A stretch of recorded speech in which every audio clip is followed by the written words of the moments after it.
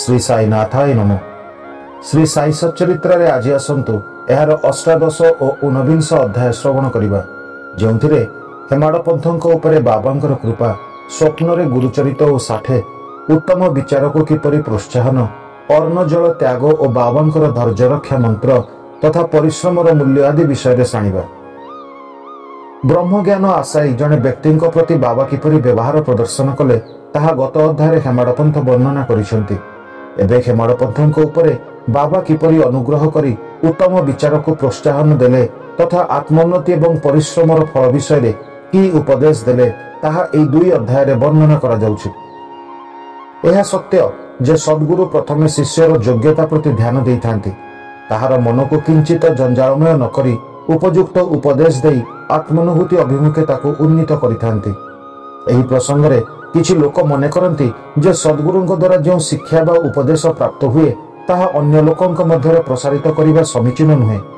ସେମାନଙ୍କର ଆହୁରି ଧାରଣା ଯେ ସମସ୍ତଙ୍କ ଆଗରେ ତାକୁ ପ୍ରକଟ କଲେ ତାର ମହତ୍ଵ ଉଣା ହୋଇଯାଏ। ପ୍ରକୃତରେ ଏହା ଏକ ସଂକୀର୍ଣ୍ଣ ଦୃଷ୍ଟିଭଙ୍ଗୀ। ସଦ୍ଗୁରୁ ବର୍ଷା ଋତୁର ମେଘ ସଦୃଶ ଅଟନ୍ତି ଯିଏ ସର୍ବତ୍ର ଏକ ସମାନ ଦୃଷ୍ଟିପାତ କରନ୍ତି। ଅର୍ଥାତ୍ ସେ ତାଙ୍କର ଅମୃତ ତୁଲ୍ୟ ଉପଦେଶକୁ ବ୍ୟାପକ କ୍ଷେତ୍ରରେ ପ୍ରସାରିତ କରନ୍ତି। ପ୍ରଥମେ ତାଙ୍କର ସାରାଂଶକୁ ଗ୍ରହଣ କରି ଆତ୍ମସ୍ଥ କର ଏବଂ ତତ୍ପରେ ସଂକୀର୍ଣ୍ଣ ରହିତ ହୋଇ ଅନ୍ୟମାନଙ୍କ ମଧ୍ୟରେ ବିତରଣ କର। ଏହି ନିୟମ ଉଭୟ ଜାଗ୍ରତ ଏବଂ ସ୍ୱପ୍ନାବସ୍ଥାରେ ପ୍ରାପ୍ତ ଉପଦେଶ ନିମନ୍ତେ ଉଦ୍ଦିଷ୍ଟ। ଉଦାହରଣ ସ୍ୱରୂପ ବୁଦ୍ଧ କୌଶିକ ଋଷି ସ୍ୱପ୍ନରେ ପ୍ରାପ୍ତ ପ୍ରସିଦ୍ଧ ରାମରକ୍ଷେ ସ୍ତୋତ ସାଧାରଣ ଜନତାଙ୍କ ହିତ ନିମନ୍ତେ ପ୍ରକାଶ କରିଥିଲେ। ଯେଉଁପରି ଜଣେ ଦୟାଳୁ ମାତା ତାର ବାଳକର ଉପଶମ ନିମନ୍ତେ କଡ଼ା ଔଷଧ ବଳପୂର୍ବକ ପ୍ରୟୋଗ କରିଥାଏ ସେହିପରି ଶ୍ରୀ ସାଇବାବା ତାଙ୍କର ଭକ୍ତମାନଙ୍କର କଲ୍ୟାଣ ନିମନ୍ତେ ଉପଦେଶ ଦେଉଥିଲେ।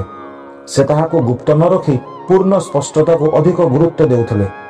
ଏହି କାରଣରୁ ଯେଉଁ ଭକ୍ତମାନେ ତାଙ୍କର ଉପଦେଶକୁ ପୂର୍ଣ୍ଣତଃ ପାଳନ କରୁଥିଲେ ସେମାନେ ତାଙ୍କର ଉଦ୍ଦେଶ୍ୟ ପାଳନରେ ସଫଳ ହେଉଥିଲେ। ଶ୍ରୀ ସାଇବାବାଙ୍କର ସଦୃଶ ସଦ୍ଗୁରୁ ହିଁ ଜ୍ଞାନଚକ୍ଷୁ ଉନ୍ମିଳନ କରି ଆତ୍ମାର ଦିବ୍ୟତା ଅନୁଭବ ପ୍ରଦାନ କରିବାରେ ସମର୍ଥ। ବିଷୟ ବାସନାରୁ ଆସକ୍ତିକୁ ନଷ୍ଟ କରି ସେ ଭକ୍ତମାନଙ୍କର ଇଚ୍ଛା ପୂର୍ଣ୍ଣ କରନ୍ତି। ଯାହାର ଫଳସ୍ୱରୂପ ଜ୍ଞାନ ଓ ବୈରାଗ୍ୟ ପ୍ରାପ୍ତ ହୋଇ ଉତ୍ତର ଉତ୍ତର ଉନ୍ନତି ହୋଇଥାଏ। ଏହା କେବଳ ସେତିକି ବେଳେ ସମ୍ଭବ ଯେତେବେଳେ ଆମେ ତାଙ୍କର ସାନ୍ନିଧ୍ୟ ଲାଭ କରିବା ତଥା ସେବା ଉପରାନ୍ତେ ତାଙ୍କର ପ୍ରେମ ପାଇପାରିବା। ଏହା ହେଲେ ସ୍ୱୟଂ ଭଗବାନ ଯିଏକି ଭକ୍ତ କାମକଳ୍ପତରୁ ଆମର ସହାୟତା କରିବେ। ଆମକୁ ଦୁଃଖ ଓ କଷ୍ଟରୁ ମୁକ୍ତ କରି ସୁଖୀ କରିବେ। ଏସବୁ ପ୍ରଗତି କେବଳ ସଦ୍ଗୁରୁଙ୍କର କୃପା ଦ୍ୱାରା ହିଁ ସମ୍ଭବ ଯିଏକି ଈଶ୍ୱରଙ୍କର ପ୍ରତୀକ। ଏଣୁ ଆମକୁ ସର୍ବଦା ସଦ୍ଗୁରୁଙ୍କର ଅନ୍ୱେଷଣ କରିବାକୁ ହେବ। ଏବେ ଆମେ ମୁଖ୍ୟ ପ୍ରସଙ୍ଗକୁ ଯିବା। ଏବେ ଆସନ୍ତୁ ଶ୍ରବଣ କରିବା ସ୍ୱପ୍ନରେ ଗୁରୁଚରିତ ଓ ଷାଠେ। ଶ୍ରୀ ଷାଠେ ନାମରେ ଜଣେ ମହାନୁଭବ ବ୍ୟକ୍ତି ଥିଲେ। କିଛି ବର୍ଷ ପୂର୍ବେ କାରଫଡ଼ଙ୍କର ଶାସନ କାଳରେ ସେ ପ୍ରସିଦ୍ଧି ଲାଭ କରିଥିଲେ। ଲର୍ଡ ରିଏ ମୁମ୍ବାଇର ଗଭର୍ଣ୍ଣର ଅବସ୍ଥାପିତ ହେବା ପରେ ଶ୍ରୀ ଷାଠେଙ୍କର ବ୍ୟବସାୟରେ ପ୍ରଭୂତ କ୍ଷତି ଘଟିଲା ଏବଂ ପ୍ରତିକୂଳ ପରିସ୍ଥିତିରେ ସେ ଭାଙ୍ଗି ପଡ଼ିଲେ। ତୀବ୍ର ମାନସିକ ଅଶାନ୍ତି ଯୋଗୁଁ ସେ ଘର ଛାଡ଼ି କୌଣସି ଏକାନ୍ତ ସ୍ଥାନକୁ ପଳାଇ ସେଠାରେ ବାସ କରିବାକୁ ବିଚାର କଲେ। ସାଧାରଣତଃ ଅଧିକାଂଶ ଲୋକ ବିପତ୍ତି କାଳରେ ତଥା ଦୁର୍ଦିନରେ ଭଗବାନଙ୍କର ସ୍ମରଣ କରିଥାନ୍ତି ଏବଂ ଏହି ସମୟରେ ସେମାନଙ୍କର ବିଶ୍ୱାସ ବୃଦ୍ଧି ପାଇଥାଏ।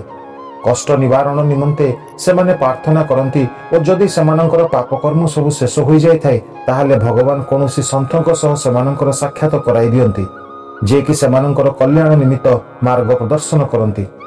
ଶ୍ରୀ ଷାଠେଙ୍କ କ୍ଷେତ୍ରରେ ତାହା ହେଲା। ତାଙ୍କର ଜଣେ ବନ୍ଧୁ ତାଙ୍କୁ ଶିରିଡ଼ି ଯିବାକୁ ପରାମର୍ଶ ଦେଲେ ଯେଉଁଠାକୁ ମନର ଶାନ୍ତି ତଥା ମନୋକାମନା ପୂରଣ ନିମନ୍ତେ ଦୂର ଦୂରାନ୍ତରୁ ଅଗଣିତ ଲୋକ ଧାଇଁ ଆସୁଛନ୍ତି। ତାଙ୍କ ମନକୁ ଏହି କଥା ବେଶ ପାଇଲା ଏବଂ ଉଣେଇଶହ ସତର ମସିହାରେ ସେ ଶିରିଡ଼ି ଆସିଲେ। ବାବାଙ୍କର ସନାତନ ପୂର୍ଣ୍ଣ ବ୍ରହ୍ମ ଦୀପ୍ତିମାନ ନିର୍ମଳ ଏବଂ ବିଶୁଦ୍ଧ ସ୍ୱରୂପ ଦର୍ଶନ କରି ତାଙ୍କ ମନର ବ୍ୟଗ୍ରତା ଦୂର ହୋଇଗଲା ଏବଂ ତାଙ୍କର ମନ ଶାନ୍ତ ଓ ସ୍ଥିର ହେଲା।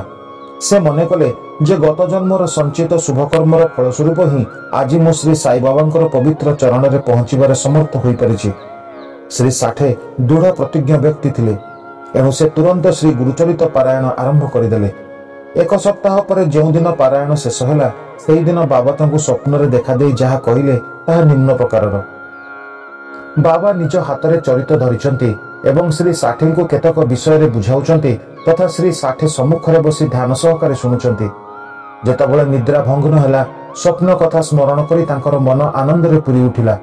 ସେ ମନେ କଲେ ଯେ ଏହା ତାଙ୍କ ପ୍ରତି ବାବାଙ୍କର ଅସୀମ କୃପା ଯେ ଏହି ପ୍ରକାର ଅଚେତନ ଅବସ୍ଥାରେ ଥିବା ଲୋକଙ୍କୁ ଜାଗ୍ରତ କରି ସେମାନଙ୍କୁ ଗୁରୁଚରିତର ଅମୃତପାନ କରିବାର ସୁଯୋଗ ପ୍ରଦାନ କରୁଛନ୍ତି ଏହି ସ୍ୱପ୍ନ କଥା ସେ କାକା ସାହେବ ଦୀକ୍ଷିତଙ୍କୁ ମଧ୍ୟ ଜଣାଇଲେ ଏବଂ ଏହାର ପ୍ରକୃତ ଅର୍ଥ କ'ଣ ତାହା ବାବାଙ୍କୁ ପଚାରିବାକୁ ଅନୁରୋଧ କଲେ। ଏହା ସହ ଏକ ସପ୍ତାହ ପାରାୟଣ ତାଙ୍କ ପାଇଁ ଯଥେଷ୍ଟ ହୋଇଛି। ନା ପୁଣି ପାରାୟଣ ଆରମ୍ଭ କରିବେ ଏକଥା ମଧ୍ୟ ପଚାରିବାକୁ ପ୍ରାର୍ଥନା କଲେ। କାକା ସାହେବ ଦୀକ୍ଷିତ ଉପଯୁକ୍ତ ସୁଯୋଗ ଦେଖି ବାବାଙ୍କୁ ପଚାରିଲେ କି ହେ ଦେବା ସେହି ଦୃଷ୍ଟାନ୍ତରୁ ଆପଣ ଶ୍ରୀ ଷାଠେଙ୍କୁ କ'ଣ ଉପଦେଶ ଦେଲେ? କ'ଣ ସେ ପାରାୟଣ ସପ୍ତାହ ସ୍ଥଗିତ କରିଦେବେ? ସେ ଜଣେ ସରଳ ହୃଦୟର ବ୍ୟକ୍ତି। ଏଥି ନିମନ୍ତେ ଆପଣ ତାଙ୍କର ମନୋକାମନା ପୂର୍ଣ୍ଣ କରନ୍ତୁ। ଏବଂ ହେ ଦେବ କୃପା କରି ତାଙ୍କୁ ଏହି ସ୍ୱପ୍ନର ଯଥାର୍ଥ ଅର୍ଥ ମଧ୍ୟ ବୁଝାଇ ଦିଅନ୍ତୁ। ତତ୍ପରେ ବାବା କହିଲେ ଯେ ସେ ଆଉ ଏକ ସପ୍ତାହ ଗୁରୁଚରିତ ପାରାୟଣ କରନ୍ତୁ। ଯଦି ସେ ଧ୍ୟାନ ସହକାରେ ପାଠ କରିବେ ତାଙ୍କର ଚିତ୍ତ ଶୁଦ୍ଧ ହେବ ଏବଂ ଶୀଘ୍ର ମଙ୍ଗଳ ହେବ। ଭଗବାନ ମଧ୍ୟ ପ୍ରସନ୍ନ ହୋଇ ତାଙ୍କୁ ଭବବନ୍ଧନରୁ ମୁକ୍ତ କରିଦେବେ। ଏହି ଅବସରରେ ଶ୍ରୀ ହେମାଡ଼ପନ୍ତ ସେଠାରେ ଉପସ୍ଥିତ ଥିଲେ ଏବଂ ବାବାଙ୍କର ଚରଣ କମଳରେ ସେବା କରୁଥିଲେ। ବାବାଙ୍କର ବଚନ ଶୁଣି ତାଙ୍କ ମନକୁ ବିଚାର ଆସିଲା ଯେ ଷାଠେ କେବଳ ଗୋଟିଏ ସପ୍ତାହ ପାରାୟଣ କରି ମନବାଞ୍ଛିତ ଫଳ ପାଇଗଲେ। ମୁଁ ଚାଳିଶ ବର୍ଷ ଧରି ଗୁରୁଚରିତ ପାରାୟଣ କରୁଛି କିନ୍ତୁ କିଛି ଫଳ ପାଇଲି ନାହିଁ। ତାଙ୍କର ସାତ ଦିନର ଶିରଡି ନିବାସ ଫଳଦାୟୀ ହେଲା ଅଥଚ ମୋର ସାତ ବର୍ଷର ରହଣି ବୃଥା ଗଲା। ଚାତକ ପକ୍ଷୀ ସଦୃଶ ମୁଁ ସେଇ କୃପାଘନଙ୍କ ପ୍ରତି ଦୃଷ୍ଟି ରଖିଛି ମୋ ଉପରେ ଅମୃତ ବୃଷ୍ଟି କରିବେ ବୋଲି। ସେ କେବେ ମୋତେ ତାଙ୍କର ଉପଦେଶ ଦେଇ କୃପା କରିବେ? ତାଙ୍କ ମନରେ ଏପରି ବିଚାର ଆସିବା କ୍ଷଣି ବାବାଙ୍କୁ ତାହା ଅବଗତ ହୋଇଯାଇଥିଲା। ଭକ୍ତମାନେ ସର୍ବଦା ଅନୁଭବ କରିଥାନ୍ତି କି ବାବା ସେମାନଙ୍କର ସମସ୍ତ କୁଚିନ୍ତାକୁ ତୁରନ୍ତ ଦମନ କରି ଉତ୍ତମ ବିଚାରକୁ ପ୍ରୋତ୍ସାହିତ କରୁଥିଲେ। ହେମାଡ଼ପନ୍ଥଙ୍କ ମନରେ ଏପରି ବିଚାର ଦେଖି ବାବା ତୁରନ୍ତ ତାଙ୍କୁ ଶ୍ୟାମାଙ୍କ ପାଖକୁ ଯିବାକୁ ଏବଂ ତାଙ୍କ ସହ ବାର୍ତ୍ତାଳାପ କରି ପନ୍ଦର ଟଙ୍କା ଦକ୍ଷିଣା ଆଣି ଆସିବାକୁ କହିଲେ। ବାବାଙ୍କ ମନରେ ଦୟା ଆସିଯାଇଥିଲା ଏହି କାରଣରୁ ସେ ଏହିପରି ନିର୍ଦ୍ଦେଶ ଦେଲେ। ତାଙ୍କ ଆଦେଶକୁ ଅବଜ୍ଞା କରିବାର ସାହସ କାହାର ଥିଲା? ହେମାଡ଼ପନ୍ଥ ତୁରନ୍ତ ଶ୍ୟାମାଙ୍କ ଘରେ ଯାଇ ପହଞ୍ଚିଲେ। ସେହି ସମୟରେ ଶ୍ୟାମା ସ୍ନାନ ସାରି ଧୋତି ପରିଧାନ କରୁଥିଲେ। ବାହାରକୁ ଆସି ହେମାଡ଼ପନ୍ଥଙ୍କ ଆଗମନର କାରଣ ପଚାରିଲେ ଆପଣ ମସଜିଦରୁ ଆସିଲା ପରି ଜଣାପଡ଼ୁଛି। ଏପରି ବିଷର୍ଣ୍ଣ ଓ ଉଦାସ କାହିଁକି ଜଣାପଡ଼ୁଛନ୍ତି? ଏକୁଟିଆ କାହିଁକି ଆସିଛନ୍ତି ବୋଲି ପ୍ରଶ୍ନ କରି ବସିବା ପାଇଁ ଅନୁରୋଧ କଲେ ଓ ସେ ପୂଜା ସାରିବା ପର୍ଯ୍ୟନ୍ତ ପାନ ଆଦି ନେବାକୁ କହି ଭିତରକୁ ଚାଲିଗଲେ। ବାରଣ୍ଡାରେ ବସିଥିବା ଅବସ୍ଥାରେ ହେମାଡ଼ପନ୍ଥଙ୍କର ଦୃଷ୍ଟି ଅଚାନକ ଝରକା ଉପରେ ଥିବା ନାଥ ଭାଗବତ ଉପରେ ପଡ଼ିଲା। ନାଥ ଭାଗବତ ଶ୍ରୀ ଏକନାଥଙ୍କ ଦ୍ୱାରା ଭାଗବତ ମହାପୁରାଣର ଏକାଦଶ ସ୍କନ୍ଦ ଉପରେ ମରାଠୀ ଭାଷାରେ ଲିଖିତ ଟିକାର ସଂକଳନ ଶ୍ରୀ ସାଇବାବାଙ୍କର ଆଦେଶରେ ବାପୁ ସାହେବ ଯୋଗ ଏବଂ କାକା ସାହେବ ଦୀକ୍ଷିତ ଶିରିଡିରେ ପ୍ରତିଦିନ ମରାଠୀ ଟିକା ସହ ଭଗବତ ଗୀତା ବା ନାଥ ଭାଗବତ ଏବଂ ଏକନାଥଙ୍କର ମହାନ ଗ୍ରନ୍ଥ ଭାବାର୍ଥ ରାମାୟଣ ପାଠ କରୁଥିଲେ ଯେତେବେଳେ ଭକ୍ତମାନେ ବାବାଙ୍କୁ କୌଣସି ପ୍ରଶ୍ନ ପଚାରିବାକୁ ଆସୁଥିଲେ ସେ କେତେବେଳେ ଆଂଶିକ ଉତ୍ତର ଦେଉଥିଲେ ତ ଆଉ କେତେବେଳେ ଉପରୋକ୍ତ ଭାଗବତ କିମ୍ବା ପ୍ରଧାନ ଗ୍ରନ୍ଥ କଥା ଶୁଣିବାକୁ ପରାମର୍ଶ ଦେଉଥିଲେ ଯାହାକୁ ଶୁଣିବା ପରେ ଭକ୍ତମାନଙ୍କୁ ସେମାନଙ୍କ ପ୍ରଶ୍ନର ପୂର୍ଣ୍ଣ ସନ୍ତୋଷପ୍ରଦ ଉତ୍ତର ମିଳିଯାଉଥିଲା ହେମାଡ଼ପନ୍ଥ ମଧ୍ୟ ପ୍ରତିଦିନ ନାଥ ଭାଗବତର କିଛି ଅଂଶ ପାଠ କରୁଥିଲେ ଆଜି ସକାଳେ ମସଜିଦକୁ ଯିବା ସମୟରେ କେତେକ ଭକ୍ତଙ୍କର ସତ୍ସଙ୍ଗ ହୋଇଯିବାରୁ ସେ ନିତ୍ୟ ନିୟମ ଅନୁସାରେ ଭାଗବତ ପାଠ ଅଧାରେ ଛାଡ଼ି ଦେଇଥିଲେ ଯେମିତି ସେହି ଗ୍ରନ୍ଥ ବାହାର କରି ଖୋଲି ଦେଖନ୍ତି ତ ଯେଉଁ ପୃଷ୍ଠାରେ ପାଠ ଛାଡ଼ିଥିଲେ ଠିକ୍ ସେହି ପୃଷ୍ଠା ଖୋଲିଥିବା ଦେଖି ତାଙ୍କର ଆଶ୍ଚର୍ଯ୍ୟର ସୀମା ରହିଲା ନାହିଁ। ସେ ମନେ କଲେ ଯେ ବାବା ଏଥିପାଇଁ ହିଁ ତାଙ୍କୁ ସେଠାକୁ ପଠାଇଛନ୍ତି ଯଦ୍ୱାରା ସେ ତାଙ୍କର ଅପୂର୍ଣ୍ଣ ପାଠ ପୂର୍ଣ୍ଣ କରିବେ। ଏହାପରେ ସେ ଅବଶିଷ୍ଟ ଅଂଶର ପାରାୟଣ ଆରମ୍ଭ କଲେ। ପାଠ ସରିବା ବେଳକୁ ଶ୍ୟାମା ବାହାରକୁ ଆସିଲେ ଏବଂ ଦୁହିଁଙ୍କ ମଧ୍ୟରେ ବାର୍ତ୍ତାଳାପ ହେଲା। ହେମାଡ଼ପନ୍ଥ କହିଲେ କି ମୁଁ ବାବାଙ୍କର ଗୋଟିଏ ସନ୍ଦେଶ ନେଇ ଆପଣଙ୍କ ପାଖକୁ ଆସିଛି। ସେ ଆପଣଙ୍କ ଠାରୁ ପନ୍ଦର ଟଙ୍କା ଦକ୍ଷିଣା ଆଣିବାକୁ ତଥା ଆପଣଙ୍କ ସହ କିଛି ସମୟ ବାର୍ତ୍ତାଳାପ କରିବା ପରେ ଆପଣଙ୍କୁ ସାଙ୍ଗରେ ନେଇ ମସଜିଦ ଯିବାକୁ ଆଦେଶ ଦେଇଛନ୍ତି। ଶ୍ୟାମା ଆଶ୍ଚର୍ଯ୍ୟ ପ୍ରକଟ କରି କହିଲେ କି ମୋ ପାଖରେ ତ ଫଟା କୋଡ଼ିଟିଏ ବି ନାହିଁ। ଏଣୁ ଆପଣ ଟଙ୍କା ବଦଳରେ ମୋର ପନ୍ଦରଟି ପ୍ରଣାମ ଗ୍ରହଣ କରନ୍ତୁ ତତ୍ପରେ ହେମାଡ଼ପନ୍ଥ କହିଲେ ଠିକ୍ ଅଛି ଆପଣଙ୍କର ପନ୍ଦରଟି ପ୍ରଣାମ ସ୍ୱୀକାର କରୁଛି। ଆସନ୍ତୁ ଏବେ ଆମେ କିଛି ବାର୍ତ୍ତାଳାପ କରିବା ଏବଂ ଆପଣ କୃପା କରି ମୋତେ ବାବାଙ୍କର କିଛି ଲୀଳା ଶୁଣାନ୍ତୁ। ଯାହାଦ୍ୱାରା ମୋର ପାପ ନଷ୍ଟ ହେବ। ଶ୍ୟାମା କହିଲେ ତାହେଲେ କିଛି ସମୟ ବସନ୍ତୁ। ଏହି ଈଶ୍ୱରଙ୍କର ଲୀଳା ବଡ଼ ଅଦ୍ଭୁତ। କେଉଁଠି ମୁଁ ଜଣେ ଅଶିକ୍ଷିତ ଗାଉଁଲି ଲୋକ ଏବଂ ଆପଣଙ୍କ ପରି ଜଣେ ବିଦ୍ୱାନ। ଏଠାକୁ ଆସିବା ପରେ ଆପଣ ସ୍ୱୟଂ ତ ବାବାଙ୍କର ଅନେକ ଲୀଳା ଚାକ୍ଷୁଷ କରିଛନ୍ତି। ମୁଁ କିପରି ସେଗୁଡ଼ିକର ବର୍ଣ୍ଣନା ଆପଣଙ୍କ ସମ୍ମୁଖରେ କରିପାରିବି? ଠିକ୍ ଅଛି ଆପଣ ପାନ ସୁପାରି ନେଉଥାନ୍ତୁ ମୁଁ ଲୁଗା ପିନ୍ଧିନିଏ କିଛି ସମୟ ପରେ ଶ୍ୟାମା ବାହାରକୁ ଆସିଲେ। ଏବଂ ସେ ଦୁହିଁଙ୍କ ମଧ୍ୟରେ ଏପରି ବାର୍ତ୍ତାଳାପ ହେଲା। ଶ୍ୟାମା କହିଲେ ଏହି ପରମେଶ୍ୱର ଅର୍ଥାତ୍ ବାବାଙ୍କର ଲୀଳା ଅପାର ଯାହାର କୌଣସି ତୁଳନା ନାହିଁ। ସେ ତ ଲୀଳାରୁ ନିର୍ଲିପ୍ତ ରହି ସର୍ବଦା ବିନୋଦ କରନ୍ତି। ଆମ ପରି ଅଜ୍ଞାନୀ ବ୍ୟକ୍ତି ଏହାକୁ କିପରି ବୁଝିପାରିବା? ବାବା ସ୍ୱୟଂ କ'ଣ ନ କହନ୍ତି? ଆପଣଙ୍କ ପରି ବିଦ୍ୱାନଙ୍କୁ ମୋ ପରି ଜଣେ ମୂର୍ଖ ପାଖକୁ ପଠାଇଲେ କାହିଁକି? ତାଙ୍କର କାର୍ଯ୍ୟପ୍ରଣାଳୀ କଳ୍ପନାର ଉର୍ଦ୍ଧ୍ୱରେ ମୁଁ ତ ଏହି ବିଷୟରେ କେବଳ ଏତିକି କହିପାରେ ଯେ ସେ ଲୌକିକ ନୁହନ୍ତି। ଏହି ଭୂମିକା ସହ ଶ୍ୟାମା କହିଲେ କି ଏବେ ମୋର ଗୋଟିଏ କଥାର ଶ୍ରୁତି ଭାସି ଆସୁଛି ଯାହା ମୁଁ ବ୍ୟକ୍ତିଗତ ରୂପରେ ଜାଣିଛି। ଭକ୍ତର ନିଷ୍ଠା ଏବଂ ଭାବ ଯେପରି ହୋଇଥାଏ ବାବା ସେହି ପ୍ରକାର ତାର ସହାୟତା କରିଥାନ୍ତି। କେବେ କେବେ ତ ବାବା ଭକ୍ତର କଠିନ ପରୀକ୍ଷା ନେଇ ତାକୁ ଉପଦେଶ ଦେଇଥାନ୍ତି। ଉପଦେଶ ଶବ୍ଦ ଶୁଣିବା ମାତ୍ରେ ଷାଠେଙ୍କର ଗୁରୁଚରିତ ପାରାୟଣ ଘଟଣା ସ୍ମରଣ କରି ହେମାଡ଼ପନ୍ତଙ୍କର ଶରୀର ରୋମାଞ୍ଚିତ ହୋଇ ଉଠିଲା ସେ ମନେ କଲେ ତାଙ୍କର ମନର ଚଞ୍ଚଳତା ଦୂର କରିବା ପାଇଁ ବାବା ଏଠାକୁ ପଠାଇ ନାହାନ୍ତି ତ? ତଥାପି ସେ ତାଙ୍କର ମନ କଥା ଖୋଲି ନ କହି ଶ୍ୟାମାଙ୍କ କଥା ଧ୍ୟାନର ସହ ଶୁଣିବାକୁ ଲାଗିଲେ। ସେହି ସବୁ କଥା ଶ୍ରବଣ କରି ତାଙ୍କର ଶରୀର ରୋମାଞ୍ଚରେ ପୁରି ଉଠିଲା। ମନରେ ଅପାର ଆନନ୍ଦ ଆସିଲା। ତତ୍ପରେ ଶ୍ୟାମା ନିମ୍ନରେ ବର୍ଣ୍ଣିତ କଥା ବ୍ୟାଖ୍ୟାନ କଲେ। ଏବେ ଆସନ୍ତୁ ଶ୍ରବଣ କରିବା ଅର୍ଣ୍ଣଜଳ ତ୍ୟାଗ ଏବଂ ବାବାଙ୍କର ଧୈର୍ଯ୍ୟ ରକ୍ଷା ମନ୍ତ୍ର ବିଷୟରେ। ଥରେ ଜଣେ ବୃଦ୍ଧ ମହିଳା ଶ୍ରୀମତୀ ରାଧାବାଇ ଦେଶମୁଖ ବାବାଙ୍କର କୀର୍ତ୍ତି ଶୁଣି ସଂଗମନର କିଛି ଲୋକଙ୍କ ସହ ଶିରିଡ଼ି ଆସିଥିଲେ। ବାବାଙ୍କର ଶ୍ରୀମୁଖ ଦର୍ଶନ କରି ତାଙ୍କ ମନରେ ଅତ୍ୟନ୍ତ ଆନନ୍ଦ ଜାତ ହେଲା। ସାଇ ଚରଣରେ ତାଙ୍କର ଅଟଳ ଶ୍ରଦ୍ଧା ଥିଲା। ଏବେ ବାବାଙ୍କୁ ଗୁରୁ କରି ତାଙ୍କଠାରୁ ଉପଦେଶ ଗ୍ରହଣ କରିବାକୁ ସ୍ଥିର କଲେ। ଏହି ମନସ୍କାମନା ପୂର୍ଣ୍ଣ ପାଇଁ ସେ କାଷ୍ଠା ଉପବାସ ଆରମ୍ଭ କଲେ ଓ ଅର୍ଣ୍ଣଜଳ ତ୍ୟାଗ କଲେ। ଏପରି ତିନି ଦିନ ଅତିବାହିତ ହୋଇଗଲା। ବୃଦ୍ଧା ଜଣଙ୍କର ନିର୍ଜଳ ଉପବାସ ଦେଖି ମୁଁ ଶଙ୍କିତ ହୋଇଗଲି ଏବଂ ବାବାଙ୍କ ନିକଟରେ ପ୍ରାର୍ଥନା କରି କହିଲି ହେ ଦେବା ଆପଣ କେତେ ଲୋକଙ୍କୁ ଆକର୍ଷିତ କରି ନିଜ ପାଖକୁ ଟାଣି ଆଣୁଛନ୍ତି? ସେହି ବୃଦ୍ଧ ମହିଳାଙ୍କୁ ମଧ୍ୟ ଭଲ ରୂପେ ଜାଣନ୍ତି ଯିଏ ଆପଣଙ୍କୁ ଆଶ୍ରା କରି ଦୃଢ଼ ପ୍ରତିଜ୍ଞା କରିଛନ୍ତି। ଯଦି ଆପଣ କୃପା ଦୃଷ୍ଟି କରି ତାଙ୍କୁ ଉପଦେଶ ନ ଦିଅନ୍ତି ଏବଂ ଦୁର୍ଭାଗ୍ୟବଶତଃ ତାଙ୍କର କିଛି ହୋଇଯାଏ ତାହେଲେ ଲୋକେ ବୃଥାରେ ଆପଣଙ୍କୁ ଦୋଷୀ ବିବେଚିତ କରିବେ ଏବଂ ଆପଣଙ୍କଠାରୁ ଉପଦେଶ ନ ପାଇବାରୁ ତାଙ୍କର ମୃତ୍ୟୁ ଘଟିଲା ବୋଲି ଆରୋପ କରିବେ। ଏଥିସକାଶେ ଦୟାକରି ତାଙ୍କୁ ଆଶିଷ ଓ ଉପଦେଶ ପ୍ରଦାନ କରନ୍ତୁ। ବାବା ବୃଦ୍ଧ ମହିଳାଙ୍କୁ ତାଙ୍କ ପାଖକୁ ଡକାଇଲେ ଏବଂ କହିଲେ ହେ ମାତା ଯନ୍ତ୍ରଣା ସହ୍ୟ କରି ମୂର୍ତ୍ତିକୁ ଆଲିଙ୍ଗନ କରିବାକୁ ତୁମେ କାହିଁକି ଚାହୁଁଛ? ତୁମେ ମୋର ମା ଓ ମୁଁ ତୁମର ପୁତ୍ର। ତୁମେ ମୋ ପ୍ରତି ଦୟା କର ଏବଂ ଯାହା ମୁଁ କହୁଛି ଧ୍ୟାନପୂର୍ବକ ଶ୍ରବଣ କର। ମୋର ନିଜ କଥା ତୁମକୁ କହୁଛି ଏବଂ ତୁମେ ଯଦି ଧ୍ୟାନ ସହକାରେ ଏହାକୁ ଶୁଣିବ ତାହେଲେ ପରମ ଶାନ୍ତି ପ୍ରାପ୍ତ ହେବ। ମୋର ଗୁରୁ ଜଣେ ମହାନ ସିଦ୍ଧ ପୁରୁଷ ଥିଲେ। ମୋ ପ୍ରତି ସେ ବଡ଼ ଦୟାଳୁ ଥିଲେ। ଦୀର୍ଘ କାଳ ପର୍ଯ୍ୟନ୍ତ ମୁଁ ତାଙ୍କର ସେବା କରୁଥିଲି। ତଥାପି ମୋର କର୍ଣ୍ଣରେ ସେ କୌଣସି ମନ୍ତ୍ର ଫୁଙ୍କି ନଥିଲେ। ମୁଁ ତାଙ୍କଠାରୁ କେବେ ପୃଥକ ହେବାକୁ ଚାହୁଁନଥିଲି। ମୋର ପ୍ରବଳ ଉତ୍କଣ୍ଠା ଥିଲା ଯେ ଯେଉଁ ପ୍ରକାର ମଧ୍ୟ ତାଙ୍କର ସେବା କରି ତାଙ୍କଠାରୁ ମନ୍ତ୍ରପ୍ରାପ୍ତ କରିବି। କିନ୍ତୁ ତାଙ୍କର ରୀତି ନିଆରା ଥିଲା। ସେ ପ୍ରଥମେ ମୋର ମୁଣ୍ଡନ କରି ମୋତେ ଦୁଇ ପଇସା ଦକ୍ଷିଣା ମାଗିଲେ ଯାହା ମୁଁ ତାଙ୍କୁ ତୁରନ୍ତ ଅର୍ପଣ କଲି। ତୁମେ ପ୍ରଶ୍ନ କରିପାର ଯେ ମୋର ଗୁରୁ ଯେତେବେଳେ ପୂର୍ଣ୍ଣ ନିଷ୍କାମ ଥିଲେ ସେ ଦକ୍ଷିଣା ମାଗିବା କ'ଣ ଶୋଭନୀୟ ଥିଲା? ତାଙ୍କର ଅନାସକ୍ତ ଭାବ ଥିଲେ ବୋଲି କିପରି କୁହାଯିବ? ଏହାର ଉତ୍ତର କେବଳ ଏହା ହୋଇପାରେ ଯେ କାଞ୍ଚନକୁ ସେ ପ୍ରତ୍ୟାଖ୍ୟାନ କରୁଥିଲେ। ସ୍ୱପ୍ନରେ ମଧ୍ୟ ତାର ଆବଶ୍ୟକତା ତାଙ୍କର ନଥିଲା।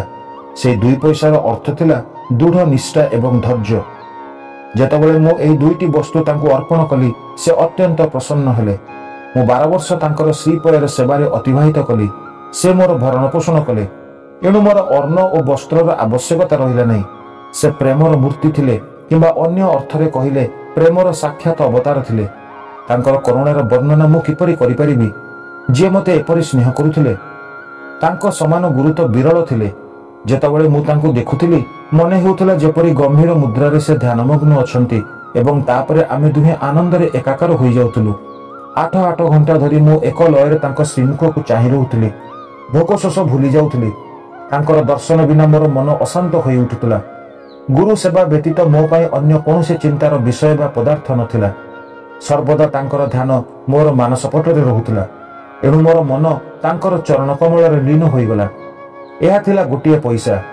ଦ୍ୱିତୀୟ ପଇସା ଥିଲା ଧୈର୍ଯ୍ୟ। ଧୈର୍ଯ୍ୟର ସହ ବହୁ କାଳ ପ୍ରତୀକ୍ଷା କରି ମୁଁ ତାଙ୍କର ସେବା କରୁଥିଲି। ଏହି ଧୈର୍ଯ୍ୟ ତୁମକୁ ମଧ୍ୟ ଭବସାଗରରୁ ଉଦ୍ଧାର କରିଦେବ। ଧୈର୍ଯ୍ୟ ହିଁ ମନୁଷ୍ୟ ମଧ୍ୟରେ ମନୁଷ୍ୟତ୍ୱ ଅଟେ। ଧୈର୍ଯ୍ୟ ଧାରଣ କରିବା ଦ୍ୱାରା ସବୁ ପାପ ଓ ମୋହ ନଷ୍ଟ ହୋଇ ସମସ୍ତ ପ୍ରକାର ସଙ୍କଟ ଦୂର ହୋଇଯାଏ ତଥା ଭୟ ନଷ୍ଟ ହୋଇଯାଏ ଏହି ପ୍ରକାର ତୁମର ମଧ୍ୟ ଲକ୍ଷ୍ୟ ପୂରଣ ହୋଇଯିବ ଧୈର୍ଯ୍ୟ ଗୁଣର ଭଣ୍ଡାର ତଥା ଉତ୍ତମ ବିଚାରର ଜନନୀ ଅଟେ ନିଷ୍ଠା ଏବଂ ଧୈର୍ଯ୍ୟ ଦୁଇଟି ବାହନ ଏବଂ ସେମାନଙ୍କ ମଧ୍ୟରେ ପରସ୍ପର ପ୍ରତି ପ୍ରଗାଢ଼ ପ୍ରେମ ରହିଥାଏ ମୋର ଗୁରୁ ମୋ ଠାରୁ କୌଣସି ବସ୍ତୁର ଆକାଂକ୍ଷା ରଖୁନଥିଲେ।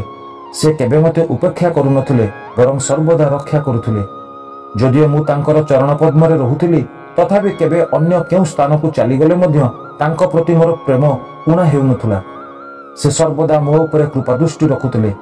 ଯେଉଁ ପ୍ରକାର କଚ୍ଛପ ପ୍ରେମ ଦୃଷ୍ଟି ସହକାରେ ତାର ସନ୍ତାନମାନଙ୍କର ଲାଳନ ପାଳନ କରିଥାଏ ସେମାନେ ପାଖରେ ଥାଆନ୍ତୁ ବା ନଦୀ ସେ ପାରିବେ କାରଣ ସେ ମା। ମୋର ଗୁରୁ ତ ମୋତେ କୌଣସି ମନ୍ତ୍ର ଶିଖାଇଲେ ନାହିଁ। ମୁଁ ତୁମ କର୍ଣ୍ଣରେ କିପରି ମନ୍ତ୍ର ଫୁଙ୍କିବି? କେବଳ ଏତିକି ମନେ ରଖ ଯେ ମା କଚ୍ଛପ ସଦୃଶ ଗୁରୁଙ୍କର ପ୍ରେମ ଦୃଷ୍ଟିରେ ମଧ୍ୟ ଆମକୁ ଅପୁରନ୍ତ ସନ୍ତୋଷ ପ୍ରାପ୍ତ ହୋଇଥାଏ। ଏହି କାରଣରୁ ବୃଥାରେ କାହାଠାରୁ ଉପଦେଶ ପାଇବାକୁ ପ୍ରୟାସ କର ନାହିଁ। ମୋତେ ହିଁ ନିଜର ବିଚାର ତଥା କର୍ମର ମୁଖ୍ୟ ଧ୍ୟେୟ କରିଦିଅ ଏବଂ ଏହା କଲେ ନିଃସନ୍ଦେହରେ ତୁମର ପରମାତ୍ମା ପ୍ରାପ୍ତି ହୋଇଯିବ। ମୋ ଆଡ଼କୁ ଅନନ୍ୟ ଭାବରେ ଦେଖ ତାହେଲେ ମୁଁ ତୁମକୁ ସେହିପରି ଦେଖିବି। ଏହି ମସଜିଦରେ ବସି ମୁଁ ସତ୍ୟ କହୁଛି କୌଣସି ସାଧନା ବା ଶାସ୍ତ୍ର ଅଧ୍ୟୟନର ଆବଶ୍ୟକତା ନାହିଁ। କେବଳ ଗୁରୁଙ୍କଠାରେ ବିଶ୍ୱାସ ହିଁ ଯଥେଷ୍ଟ। ପୂର୍ଣ୍ଣ ବିଶ୍ୱାସ ରଖ ଯେ ଗୁରୁ ହିଁ କର୍ତ୍ତା ଅଟନ୍ତି ଆଉ ଯିଏ ଗୁରୁଙ୍କର ମହାନତା ଉପଲବ୍ଧି କରି ତାଙ୍କୁ ହରି ହର ଓ ବ୍ରହ୍ମାଙ୍କର ଅବତାର ମନେ କରିଛି ତାର ଜୀବନ ବାସ୍ତବରେ ଧନ୍ୟ। ବୃଦ୍ଧା ମହିଳା ଏବେ ବୁଝିଗଲେ ଓ ବାବାଙ୍କୁ ପ୍ରଣାମ କରି ଉପବାସ ଭଙ୍ଗ କଲେ। ଏହି କଥା ଧ୍ୟାନ ସହକାରେ ଶ୍ରବଣ କରି ତାର ଗୁଢ଼ାର୍ଥ ହୃଦବୋଧ କରି ହେମାଡ଼ପନ୍ଥ ଆଶ୍ଚର୍ଯ୍ୟାନ୍ୱିତ ହେଲେ। ତାଙ୍କର ହୃଦୟ ଭାବପୂର୍ଣ୍ଣ ହୋଇଗଲା ଏବଂ ରୋମାଞ୍ଚରେ ପୁରି ଉଠିଲା ଅପୂର୍ବ ଆନନ୍ଦରେ କଣ୍ଠ ବାଷ୍ପରୁଦ୍ଧ ହେଲା ଏବଂ ମୁହଁରୁ ଗୋଟିଏ ଶବ୍ଦ ମଧ୍ୟ ସ୍ଫୁରିଲା ନାହିଁ ତାଙ୍କର ଏପରି ଅବସ୍ଥା ଦେଖି ଶ୍ୟାମା ପ୍ରଶ୍ନ କଲେ ଆପଣ ଏପରି ସ୍ତବ୍ଧ ହୋଇଗଲେ କାହିଁକି ବାବାଙ୍କର ତ ଏପରି ଅଗଣିତ ଲୀଳା ଅଛି ମୁଁ କିପରି ତାର ବର୍ଣ୍ଣନା କରିବି? ଏହି ସମୟରେ ମସଜିଦରେ ଘଣ୍ଟନାଦ ହେଲା। ମଧ୍ୟାହ୍ନ ପୂଜା ତଥା ଆରତୀର ସମୟ ହୋଇଯାଇଥିଲା। ଶ୍ୟାମା ଓ ହେମାଡ଼ପନ୍ଥ ଶୀଘ୍ର ମସଜିଦ ଯିବାକୁ ବାହାରିଲେ। ବାପୁ ସାହେବ ଯୋଗ ପୂଜା ଆରମ୍ଭ କରିଥିଲେ। ମହିଳାମାନେ ମସଜିଦ ଉପରେ ମଣ୍ଡପରେ ଦଣ୍ଡାୟମାନ ହୋଇଥିଲେ ଏବଂ ପୁରୁଷମାନେ ନିମ୍ନ ଅଗଣାରେ ବାଦ୍ୟ ବାଦନ ସହିତ ସମସ୍ତେ ଉଚ୍ଚ ସ୍ୱରରେ ଆରତୀ ଗାନ କରୁଥିଲେ ହେମାଡ଼ପନ୍ଥଙ୍କର ହାତ ଧରି ଶ୍ୟାମା ମସଜିଦରେ ପ୍ରବେଶ କଲେ। ସେ ବାବାଙ୍କର ଡାହାଣ ପାର୍ଶ୍ୱରେ ତଥା ହେମାଡ଼ପନ୍ଥ ବାବାଙ୍କର ସମ୍ମୁଖରେ ବସିଲେ। ହେମାଡ଼ପନ୍ଥକୁ ଦେଖି ବାବା ଶ୍ୟାମାଙ୍କ ଠାରୁ ଆଣିଥିବା ଦକ୍ଷିଣା ଦେବାକୁ କହିଲେ। ହେମାଡ଼ପନ୍ଥ କହିଲେ ଯେ ଦକ୍ଷିଣା ବଦଳରେ ଶ୍ୟାମା ପନ୍ଦରଟି ପ୍ରଣାମ ମୋ ଜରିଆରେ ଆପଣଙ୍କୁ ଅର୍ପଣ କରିଛନ୍ତି। ଏବଂ ନିଜେ ଏଠାକୁ ଆସିଛନ୍ତି। ବାବା କହିଲେ ଠିକ ଅଛି ତୁମେ ଦୁହିଁଙ୍କ ମଧ୍ୟରେ କେଉଁ ବିଷୟରେ ଆଲୋଚନା ହେଲା ଏବେ ଜଣାଅ। ଘଣ୍ଟା ଢୋଲ ଓ ସାମୂହିକ ଗାନ ମଧ୍ୟରେ ହେମାଡ଼ପଣ୍ଡ ଉତ୍କଣ୍ଠାପୂର୍ବକ ବାବାଙ୍କର ବାର୍ତ୍ତାଳାପର ସମସ୍ତ ବିବରଣୀ ଶୁଣାଇଲେ। ବାବା ମଧ୍ୟ ଶୁଣିବା ପାଇଁ ବଡ଼ ଉତ୍ସୁକ ଥିଲେ। ସେ ତାଙ୍କର ଆସନରୁ ସାମାନ୍ୟ ଆଗକୁ ଝୁଙ୍କି ଆସିଲେ। ହେମାଡ଼ପନ୍ଥ କହିଲେ ବାର୍ତ୍ତାଳାପ ବଡ଼ ସୁଖପ୍ରଦ ଥିଲା। ସବୁଠାରୁ ସୁଖଦାୟକ ତଥା ଅଦ୍ଭୁତ ଥିଲା ଉକ୍ତ ବୃଦ୍ଧ ମହିଳାଙ୍କର କଥା। ଯାହା ଶ୍ରବଣ କରିବା ମାତ୍ରେ ମୁଁ ଅନୁଭବ କଲି ଯେ ଆପଣଙ୍କର ଲୀଳା ଅପାର ଏବଂ ସମ୍ଭବତଃ ତାହା ଶୁଣାଇବା ପାଇଁ ହିଁ ଆପଣ ମୋ ପ୍ରତି ଏପରି କୃପା କଲେ। ବାବା କହିଲେ ତାହା ତ ବହୁତ ଆଶ୍ଚର୍ଯ୍ୟପ୍ରଦ। ଏବେ ତୁମ ଉପରେ ମୋର କିପରି କୃପା ହେଲା ତାହା ଶୁଣାଅ। କିଛି କାଳ ପୂର୍ବରୁ ଶୁଣିଥିବା ପ୍ରସଙ୍ଗ ଯାହା ତାଙ୍କର ହୃଦୟ ପଟଳରେ ଅଙ୍କିତ ହୋଇସାରିଥିଲା ବାବାଙ୍କୁ ଶୁଣାଇଲେ। ତାହା ଶୁଣି ବାବା ପ୍ରସନ୍ନ ହୋଇ କହିଲେ କଥା କଥାରେ ପ୍ରଭାବିତ ହୋଇ ତୁମେ ଏହାର ଅର୍ଥ ମଧ୍ୟ ବୁଝିଲଣି। ହେମାଡ଼ପନ୍ଥ ସ୍ୱୀକାର କରି କହିଲେ ଏହାଦ୍ୱାରା ମୋର ମନର ଚଞ୍ଚଳତା ନଷ୍ଟ ହୋଇଯାଇଛି ଏବେ ମୁଁ ବାସ୍ତବିକ ଶାନ୍ତି ଓ ସୁଖ ଅନୁଭବ କରୁଛି। ତଥା ସତ୍ୟ ମାର୍ଗରେ ଚାଲିବାର ରାସ୍ତା ପାଇଛି। ବାବା କହିଲେ ଶୁଣ ମୋର ପଦ୍ଧତି ଅତି ଅଦ୍ୱିତୀୟ। ଯଦି ଏହି କଥା ସ୍ମରଣ ରଖିବ ତାହେଲେ ବହୁତ ଉପଯୋଗୀ ସିଦ୍ଧ ହେବ। ଆତ୍ମଜ୍ଞାନ ପ୍ରାପ୍ତି ନିମିତ୍ତ ଧ୍ୟାନ ନିତ୍ୟାନ୍ତ ଆବଶ୍ୟକ। ଏବଂ ଯଦି ତୁମେ ନିରନ୍ତର ଏହାର ଅଭ୍ୟାସ କରିବ ତାହେଲେ କୁପ୍ରବୃତ୍ତିମାନ ପ୍ରଶମିତ ହୋଇଯିବ। ଆସକ୍ତି ରହିତ ହୋଇ ତୁମେ ସର୍ବଦା ଈଶ୍ୱରଙ୍କର ଧ୍ୟାନ କରିବା ଆବଶ୍ୟକ ଯିଏ ସମସ୍ତ ପ୍ରାଣୀଙ୍କ ମଧ୍ୟରେ ବ୍ୟାକ୍ତ ଅଟନ୍ତି ଆଉ ଯେବେ ଏହି ପ୍ରକାର ମନ ଏକାଗ୍ର ହୋଇଯିବ ସେତେବେଳେ ତୁମର ଉଦ୍ଦେଶ୍ୟ ପୂର୍ଣ୍ଣ ହେବ ମୋର ନିରାକାର ସଚିଦାନନ୍ଦ ସ୍ୱରୂପକୁ ଧ୍ୟାନ କର ଯେପରିକି ତୁମେ ଦିନରାତି ମୋତେ ଦେଖୁଛ ଏହି ପ୍ରକାର ତୁମର ଚିତ୍ତ କେନ୍ଦ୍ରିତ ହୋଇଯିବ ତଥା ଧ୍ୟାତା ଧ୍ୟାନ ଏବଂ ଧ୍ୟେୟର ପୃଥକତ୍ୱ ଦୂର ହୋଇ ଧ୍ୟାତା ଚୈତନ୍ୟ ସହ ଏକତ୍ୱ ପ୍ରାପ୍ତ କରି ବ୍ରହ୍ମ ସହିତ ଅଭିନ୍ନ ହୋଇଯିବ କଚ୍ଛପ ନଦୀର ଏ କୂଳରେ ଥାଏ ଏବଂ ତାର ପିଲାମାନେ ସେ କୂଳରେ। ନା ସେ ସେମାନଙ୍କୁ ଦୁଧ ପିଆଏ ନା ହୃଦୟରେ ଲଗାଏ। କେବଳ ତାର ପ୍ରେମ ଦୃଷ୍ଟି ଦ୍ୱାରା ହିଁ ସେମାନଙ୍କର ଭରଣ ପୋଷଣ ହୋଇଯାଏ। ଛୋଟ ପିଲାଟି ମଧ୍ୟ ନୀରବରେ ନିଜର ମାଆର ସ୍ମରଣ କରୁଥାଏ। ସେହି ଛୋଟ ପିଲାଙ୍କ ଉପରେ ମାଆର ଦୃଷ୍ଟି ହିଁ ସେମାନଙ୍କୁ ଅମୃତ ତୁଲ୍ୟ ଆହାର ଓ ଆନନ୍ଦ ପ୍ରଦାନ କରିଥାଏ। ଗୁରୁ ଓ ଶିଷ୍ୟଙ୍କର ସମ୍ବନ୍ଧ ଏହିପରି। ବାବା ଏହି ଅନ୍ତିମ ବାକ୍ୟ କହିଲା ବେଳକୁ ଆରତୀ ସମାପ୍ତ ହେଲା। ଏବଂ ସମସ୍ତେ ଉଚ୍ଚ ସ୍ୱରରେ ଶ୍ରୀ ସଚିଦାନନ୍ଦ ସଦ୍ଗୁରୁ ସାଇନାଥ ମହାରାଜ କି ଜୟ ଧ୍ୱନି ଉଚ୍ଚାରଣ କଲେ। ପ୍ରିୟ ପାଠକଗଣ ଏବେ ଆମେ ମଧ୍ୟ ଏହି ସମୟରେ ସେହି ସମାଗମରେ ସମ୍ମିଳିତ ହେବାର କଳ୍ପନା କରିବା ଏବଂ ବାବାଙ୍କର ଜୟ ଜୟକାର କରିବା। ଆରତି ସମାପ୍ତ ହେବା ପରେ ପ୍ରସାଦ ବିତରଣ ହେଲା।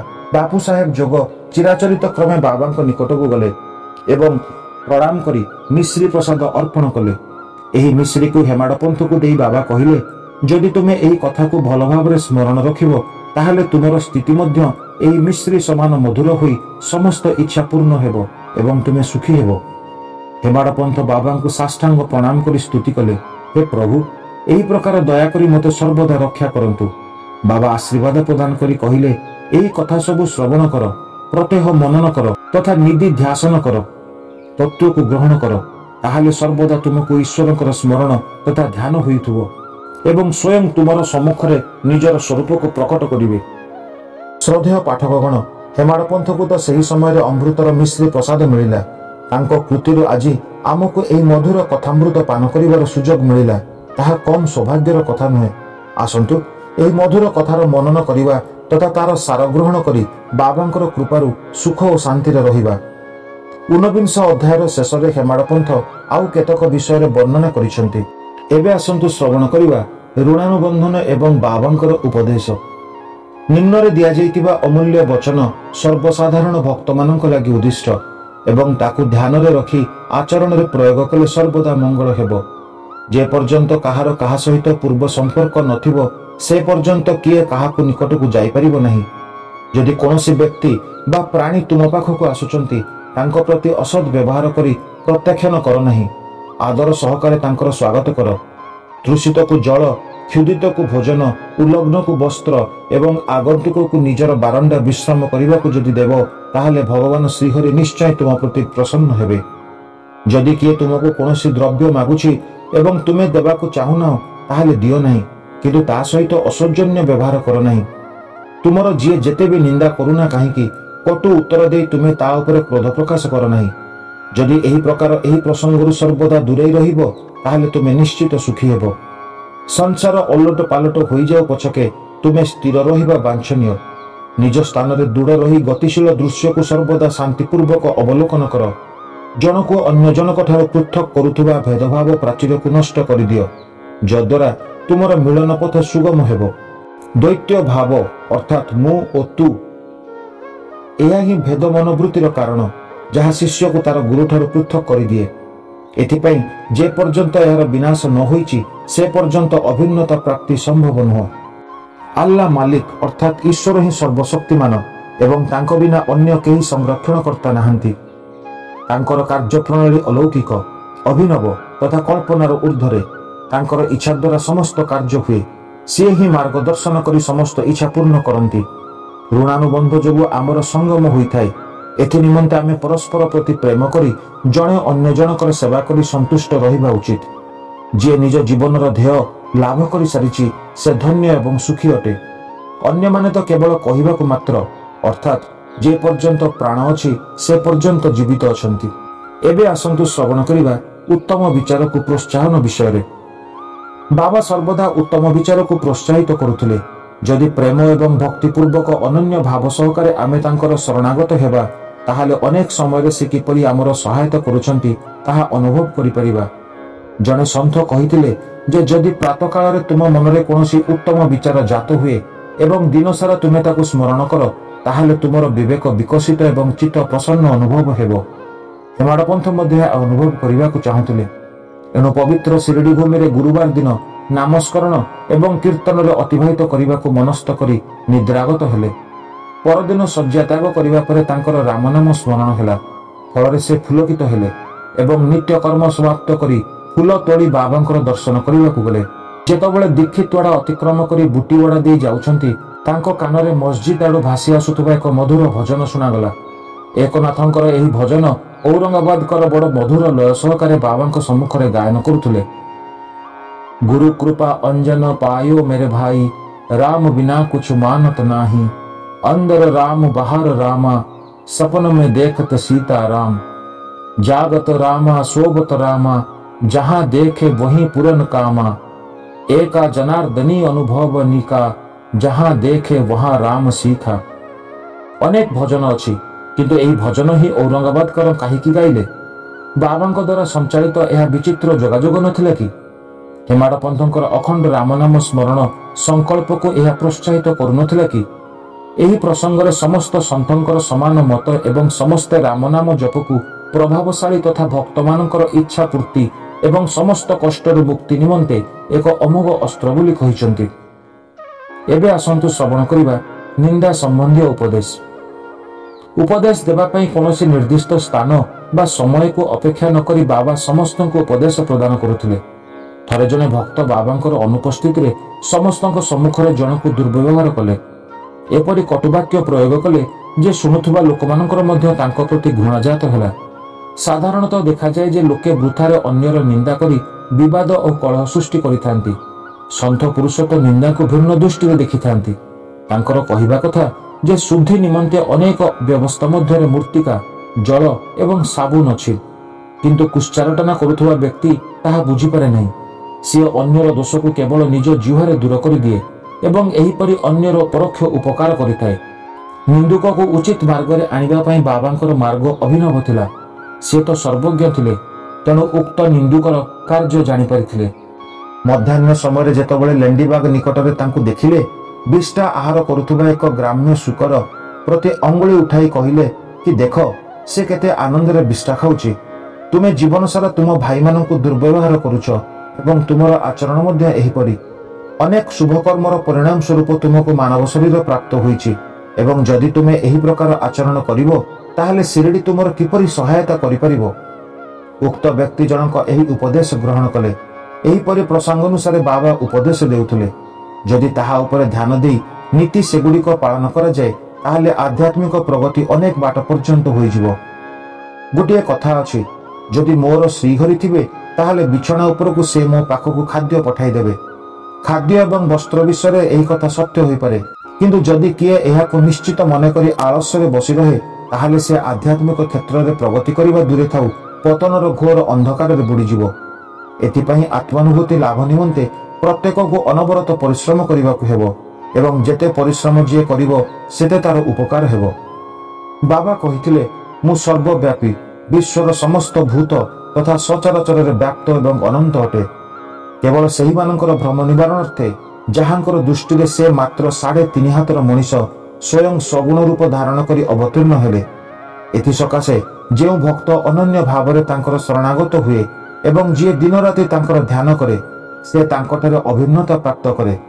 ଯେଉଁପରି ମାଧୁର୍ଯ୍ୟ ଓ ମିଶ୍ରି ସମୁଦ୍ର ଏବଂ ଲହଡ଼ି ତଥା ନେତ୍ର ଓ କାନ୍ତିରେ ଅଭିନ୍ନତା ରହିଥାଏ ଯିଏ ଜନ୍ମ ମୃତ୍ୟୁ ଚକ୍ରରୁ ମୁକ୍ତ ହେବା ଚାହାନ୍ତି ସେମାନେ ଶାନ୍ତ ଓ ସ୍ଥିର ହୋଇ ନିଜର ଧାର୍ମିକ ଜୀବନ ଅତିବାହିତ କରିବା ଉଚିତ ଦୁଃଖଦାୟକ କଟୁ ଶବ୍ଦ ପ୍ରୟୋଗ ଦ୍ୱାରା କାହା ମନରେ ଆଘାତ ନ କରି ସର୍ବଦା ଉତ୍ତମ କାର୍ଯ୍ୟରେ ଯୁକ୍ତ ହୋଇ ନିଜର କର୍ତ୍ତବ୍ୟ ସମ୍ପାଦନ କରିବା ସମୟରେ ଅନନ୍ୟ ଭାବରେ ଭୟ ରହିତ ହୋଇ ତାଙ୍କର ଶରଣାଗତ ହେବା ଉଚିତ ଯିଏ ପୂର୍ଣ୍ଣ ବିଶ୍ୱାସ ସହକାରେ ତାଙ୍କର ଲୀଳା ଶ୍ରବଣ କରି ତାର ମନନ କରିବ ତଥା ଅନ୍ୟ ସମସ୍ତ ଚିନ୍ତା ପରିତ୍ୟାଗ କରିବ ସେ ନିଃସନ୍ଦେହରେ ଆତ୍ମାନୁଭୂତି ପ୍ରାପ୍ତ କରିବ ବାବା କେତେକଙ୍କୁ ନାମ ଜପ କରି ତାଙ୍କର ଶରଣାଗତ ହେବାକୁ କହିଲେ ଯେଉଁମାନେ ମୁଁ କିଏ ଏହା ଜାଣିବାକୁ ଇଚ୍ଛୁକ ଥିଲେ ସେମାନଙ୍କୁ ଲୀଳା ଶ୍ରବଣ ଓ ମନନ କରିବାକୁ ପରାମର୍ଶ ଦେଲେ। କାହାକୁ ଭାଗବତ ଲୀଳା ଶ୍ରବଣ କାହାକୁ ଭାଗବତ ପଦ ପୂଜନ ଆଉ କାହାକୁ ଆଧ୍ୟାତ୍ମ ରାମାୟଣ ବା ଜ୍ଞାନେଶ୍ୱରୀ ତଥା ଧାର୍ମିକ ଗ୍ରନ୍ଥ ପଠନ ଓ ଅଧ୍ୟୟନ କରିବାକୁ କହୁଥିଲେ। ଅନେକଙ୍କୁ ତାଙ୍କର ଶ୍ରୀପୟରେ ସ୍ଥାନ ଦେଇ ଆଉ କେତେକଙ୍କୁ ଖଣ୍ଡବା ମନ୍ଦିରକୁ ପଠାଇ ତଥା ଆଉ କେତେକଙ୍କୁ ବିଷ୍ଣୁ ସହସ୍ର ନାମ ଜପ କରି ତଥା ଛାନ୍ଦୋଗ୍ୟ ଉପନିଷେଦ ଏବଂ ଗୀତା ଅଧ୍ୟୟନ କରିବାକୁ କହୁଥିଲେ। ତାଙ୍କର ଉପଦେଶର କୌଣସି ସୀମା ନଥିଲା। ସେ କାହାକୁ ପ୍ରତ୍ୟକ୍ଷ ଏବଂ ଅନେକଙ୍କୁ ସ୍ୱପ୍ନରେ ଦୃଷ୍ଟାନ୍ତ ପ୍ରଦାନ କରୁଥିଲେ। ଥରେ ସେ ଜଣେ ମଦ୍ୟପର ସ୍ୱପ୍ନରେ ପ୍ରକଟ ହୋଇ ତାର ଛାତି ଉପରେ ଚଢ଼ିଗଲେ ଏବଂ ଯେତେବେଳେ ସେ ମଦ ଛାଡ଼ିବାକୁ ଶପଥ ନେଲା ତାକୁ ଛାଡ଼ିଦେଲେ। କାହାକୁ କାହାକୁ ଗୁରୁ ବ୍ରହ୍ମା ଗୁରୁ ବିଷ୍ଣୁ ଏହି ମନ୍ତ୍ରର ଅର୍ଥ ସ୍ୱପ୍ନରେ ବୁଝାଉଥିଲେ ତ କୌଣସି ହଟ ଯୋଗୀଙ୍କୁ ହଟଯୋଗ ଛାଡ଼ିବାକୁ ନିର୍ଦ୍ଦେଶ ଦେଇ ନିରବତା ଅବଲମ୍ବନ କରି ଧୈର୍ଯ୍ୟ ରଖିବାକୁ କହୁଥିଲେ। ତାଙ୍କର ସୁଗମ ଧାରା ଓ ବିଧି ଅପାର।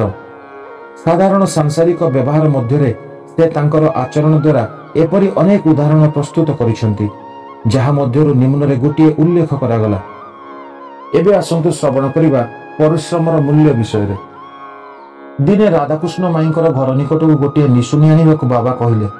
ଜଣେ ଭକ୍ତ ତୁରନ୍ତ ନିଶୁଣିଟିଏ ନେଇ ଆସିଲେ ଏବଂ ବାବାଙ୍କର କହିବା ଅନୁସାରେ ବାମନ ଗୋନ୍ଦକରଙ୍କର ଘର ପାଖରେ ତାକୁ ରଖିଲେ ନିଶୁଣି ସହାୟତାରେ ବାବା ରାଧାକୃଷ୍ଣ ମାଇଙ୍କର ଘର ଉପରେ ଚଢ଼ିଗଲେ ଏବଂ ତାଙ୍କ ଛାତ ଉପରକୁ ଯାଇ ଆରପଟୁ ପୁଣି ତଳକୁ ଓହ୍ଲାଇଗଲେ। ଏହାର ଅର୍ଥ କେହି ବୁଝିପାରିଲେ ନାହିଁ। ରାଧାକୃଷ୍ଣ ମାଇ ଏହି ସମୟରେ ଜ୍ୱରରେ କମ୍ପୁଥିଲେ। ତେଣୁ ତାଙ୍କର ଜ୍ୱର ଦୂର କରିବା ପାଇଁ ହୁଏତ ବାବା ଏହିପରି କରିଥାଇ ପାରନ୍ତି।